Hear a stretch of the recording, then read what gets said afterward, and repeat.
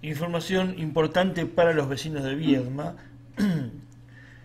se informa a los usuarios de Viedma, repito, que mañana viernes las cuadrillas operativas de la empresa realizarán importantes obras de mantenimiento en líneas de media tensión, trabajos que, dice DERSA, mejorarán la calidad eléctrica y la seguridad pública.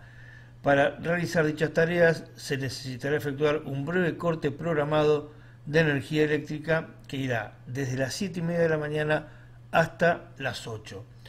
Donde no habrá energía mañana será en la zona del aeropuerto Gobernador Castelo, en la escuela de cadetes de la policía, en la alcaldía local, en la escuela El Paso, en el autódromo, en el hipódromo y en el puesto caminero en la ruta 51. Para eso solicitan que los vecinos extremen las medidas de seguridad necesarias. Repito, Mañana habrá corte del suministro eléctrico de DERSA en estos lugares que le acabo de mencionar y que se los voy a repetir.